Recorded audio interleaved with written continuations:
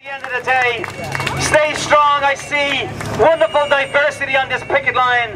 It is fantastic to come out and speak to workers that represent the community. That we get to see everybody from every corner of the world, from every part of this city. Doesn't matter whether you're black or white, Sri Lankan or Indian or Irish for that matter. You're all represented here on this picket line. And that's wonderful to see, sisters and brothers. That's the kind of solidarity we need in the labour movement.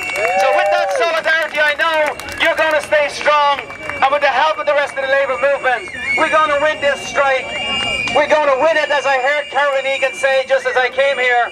You won that strike back in 1981, where you got 17 weeks of maternity leave for women. That was a trailblazing strike.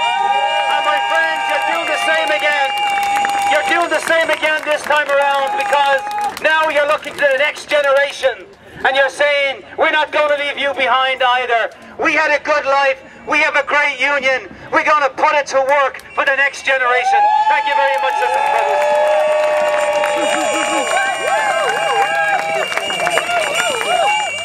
Canada Post should get back to the table and negotiate a fair collective agreement with the union. It's the only right thing to do.